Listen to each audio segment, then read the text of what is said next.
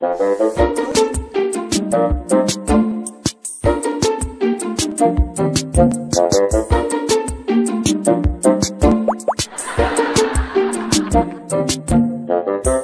abi, hayırdır? Karıncaları inceliyorum. Karıncaların neyini inceliyorsun? Gene mi azdı? Lan!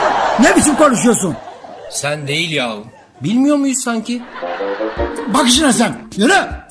Zoolog oldu başımıza. Basurunuz azdıysa karıncalara bakmak çare değil.